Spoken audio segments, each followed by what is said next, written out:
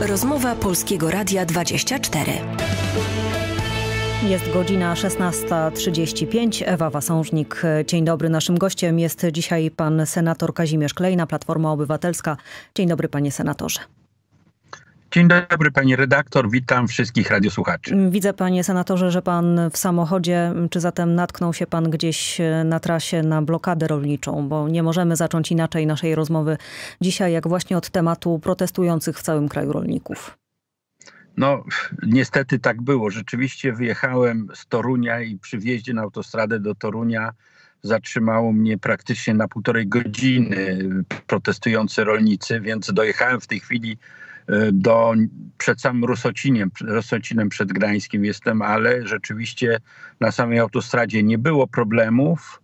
No ale niestety ten wjazd na autostradę był bardzo, bardzo utrudniony, więc przepraszam także za to, że to nasze połączenie jest ze samochodu na stacji benzynowej. Mm, to jest rzeczywiście Ale codzienność no, wielu kierowców. Ten problem oczywiście Panie senatorze, y, problem jest, protestują rolnicy dzisiaj w całym kraju. Rzeczywiście trudniej znaleźć miejsce, gdzie tych rolników y, nie spotkamy, y, niż, niż to, gdzie natkniemy się na taki protest. Co koalicja 15 października ma do zaoferowania protestującym rolnikom? Wśród 100 konkretów na pierwsze 100 dni rządu, 7 mm, z nich było poświęconych rolnictwu. Właśnie który z tych punktów będzie realizowany w pierwszej kolejności? No bo rolnicy, przypomnijmy, przede wszystkim nie chcą Zielonego Ładu, nie chcą importu produktów z Ukrainy i chcą poprawy opłacalności ich produkcji. Pani redaktor, szanowni państwo, oczywiście ten protest rolników jest nie tylko protestem rolników w Polsce, ale rozlał się po całej Europie. Wyraźnie pokazuje to, że jest kryzys w tych programach środowiskowych, które proponuje Unia Europejska i że od niektórych projektów należy odejść. I dzisiaj wyraźnie widać, że także Komisja Europejska mówi o tym, że z niektórych tych problemów, tych e, planów, które miała i chciała szybko osiągnąć, nie da się tego zrealizować. E, myślę, że to my to w Polsce widzimy doskonale i także polski minister rolnictwa, ale także my jako obywatele widzimy, że pewne rzeczy trzeba będzie przemodelować tak, aby ta produkcja rolnicza w Polsce, która jest bardzo nowoczesna, bo jeżeli spojrzy się nawet na tych protestujących rolników, to podjeżdżają mm, e, ciągniki bardzo nowoczesne, bardzo drogie. Kupione na kredyt, panie senatorze, tym, bardzo często. Proszę. Kupione często na kredyt, panie senatorze. O tym też Kupione mówią polscy kredyt, rolnicy. Ale to świadczy o tym, że rolnicy tą perspektywę, bo to są protesty głównie rolników bardzo dużych, bardzo dobrze zorganizowanych, dobrych gospodarstw rolnych i właśnie nawet te rolnictwa, rolnicy, rolnicy mają e, problemy. Myślę, że niektóre problemy my jako Platforma Obywatelska jestem o tym przekonany, że rozwiązujemy krok po kroku, a więc ta kwestia także relacji rolniczych z, między Polską a e, Ukrainą, bo tu wyraźnie widać, my przecież ciągle jesteśmy otwarci, chcemy tych silnych związków i tej silnych związków z gospodarką e, Ukrainy, ale no te ta, ta, konkurencyjność rolnictwa ukraińskiego, które nie musi spełniać tak bardzo rygorystycznych norm jak rolnictwo polskie, co jest zresztą w interesie konsumentów, no to te produkty są zdecydowanie tańsze i one niszczą, niszczą nasze rolnictwo. I myślę, że te decyzje, jakie rząd podjął, że po pierwsze każdy produkt, który wchodzi na rynek polski, no musi spełniać wszystkie wymogi pol, y, polskie i to sanitarne, zdrowotne i tak dalej. Pamiętamy przecież, że dwa lata temu y, y,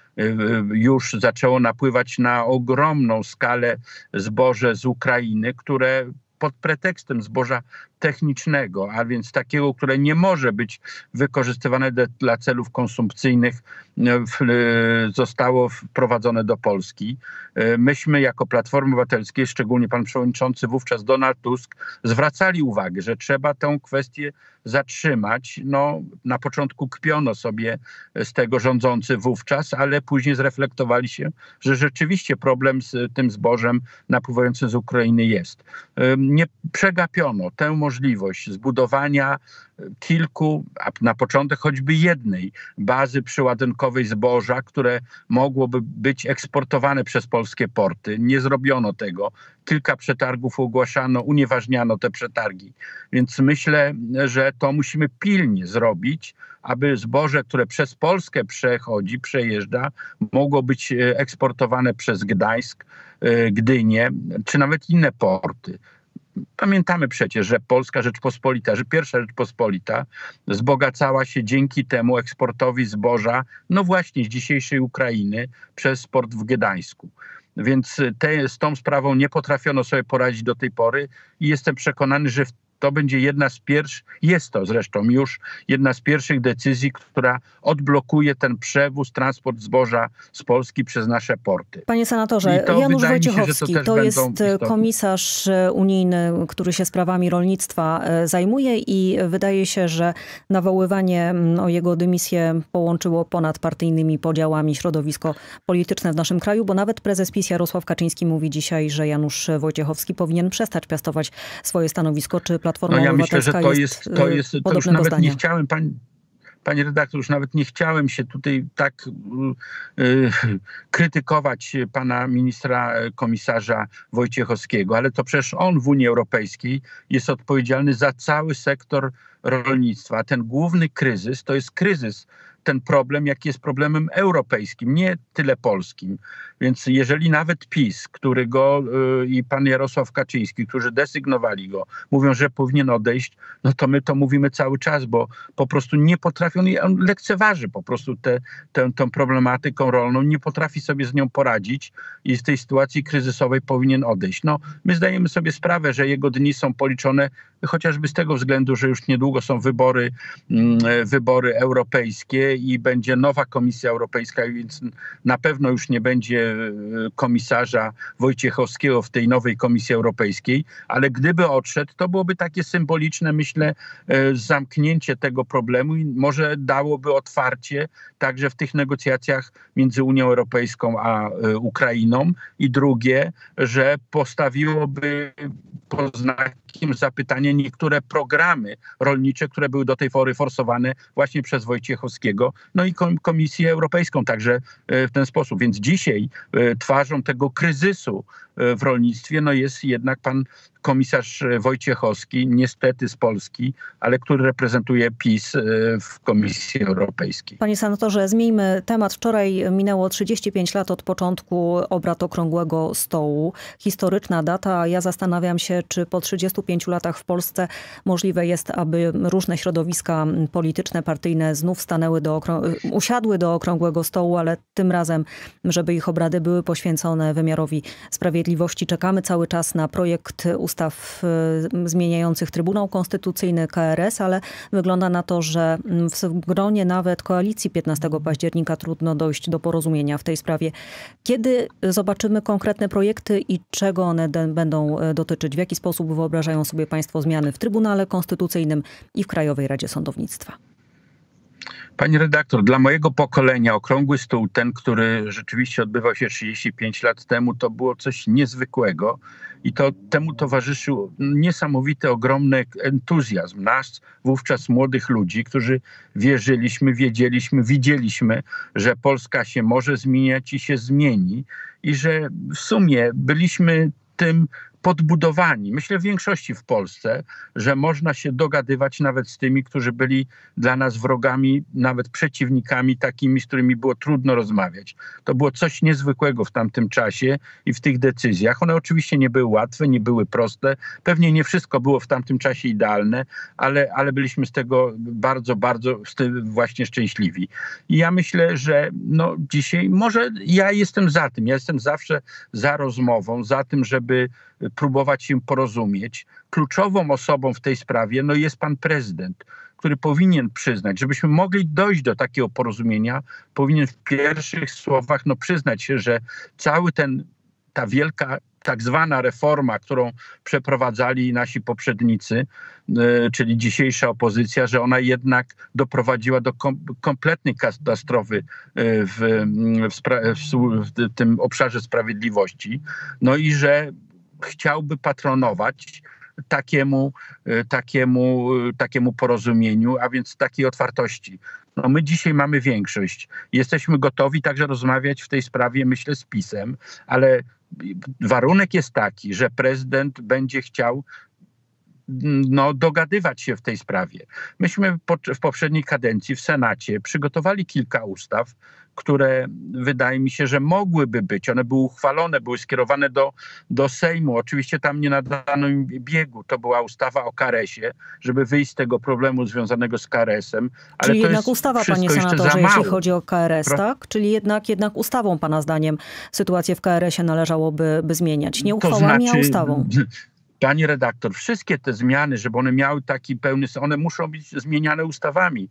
Natomiast niektóre rzeczy oczywiście co można, ale to jest to, jest, no, no to nie jest pełne takie rozwiązanie ostateczne, które, z którego my jesteśmy szczęśliwi. Ale jeżeli nie ma woli współpracy ze strony pana prezydenta, no to trudno inaczej podejmować jakieś decyzji, a trzeba naprawiać e, system prawny. Natomiast e, trzeba równocześnie pracować nad ustawami i je przygotowywać. E, punktem no, też niezwykle istotny jest na ta zmiana w Trybunale Konstytucyjnym. I gdyby tu był taki ktoś, który powie, tak, chcę z wami współpracować w tej sprawie, ale pokażcie, że chcecie się także otworzyć na innych, czyli pan prezydent. Jestem przekonany, że po naszej stronie, Platformy Obywatelskiej i całej koalicji rządzącej, koalicji 15 października, że my jesteśmy na to otwarci absolutnie i, i myślę, że to, to jest możliwe. Tylko mówię, no w tym te 35 lat temu tym obradom okrągłego stołu w większym, mniejszym stopniu patronował Kościół, który wtedy miał e, e, autorytet, byli biskupi, jak biskup, arcybiskup Gocłowski, którzy no, potrafili po prostu e, pomagać jednej i drugiej strony w tym porozumieniu. Dzisiaj niestety szkoda. Ja to jest mi strasznie z tego powodu smutno. Nie ma już tego autorytetu Kościoła, nie ma biskupów takich jak wtedy, którzy chcieliby stanąć po stronie obywateli i powiedzieć, że trochę trzeba ustąpić, no, ale żeby też, panie senatorze, więcej. mamy e, Dzisiaj te głosy i apele o tym, żeby jednak oddzielić życie państwowe od e, spraw e, tak, kościelnych. Tak, oczywiście. Dyskusja o funduszu kościelnym, która także dzisiaj redaktor, się toczy i się rozpoczęła, na to, na to wskazuje. Więc może po prostu politycy redaktor, powinni sami z siebie jest... postanowić i, i, jednak wziąć się w tym sensie do pracy, żeby jednak wypracować jakieś Pani porozumienie redaktor, w tej ważnej sprawie, jakim jest wymiar sprawiedliwości. Pani redaktor, oczywiście ja tutaj nie oczekuję, no już po prostu ja mówię tylko o osobach, o ludziach, o instytucji, która wtedy była szanowana i przecież nawet wprowadzenie religii do szkół wtedy nie budziło wątpliwości. Okazało się, że te 35 lat, no tak, no nie chcę mówić, że zniszczyło, tak osłabiło instytucję Kościoła, tą instytucjonalną część, czyli biskupów i tak dalej, no, stracili oni cały ten autorytet. Co, dla mnie jest to smutna sprawa i nie ma powrotu. Fundusz Kościelny oczywiście on w tym kształcie nie może funkcjonować. E, zresztą to jest marginalna kwota w sumie, która jest istotna z punktu widzenia funkcjonowania Kościoła czy kościołów, bo przecież on służy nie tylko Kościołowi katolickiemu, ale wszystkim innym kościołom. I to jest trochę sprawa symboliczna, e, ale on po prostu, jego żywot także dobiega końca. E, no, to jest, myślę, że w, w, tych 35 latach największym przegranym tych wielkich przemian no jest Kościół ze względu na to, że nie potrafił nadążyć za tymi przemianami, jakie w Polsce następują. Nie chodzi mi o, oczywiście o doktrynę, żeby tutaj się zmieniać w tych sprawach. Czy Panie senatorze, wiary, to pewnie istoty, jest temat na. E, kolejną e, dyskusję. Nam czas się naszego spotkania powoli kończy. Senator Kazimierz Klejna, Platforma Obywatelska, był gościem Polskiego Radia 24. Bezpiecznej podróży, bardzo panie dziękuję. senatorze. Dziękujemy. Dziękuję bardzo. Dziękuję.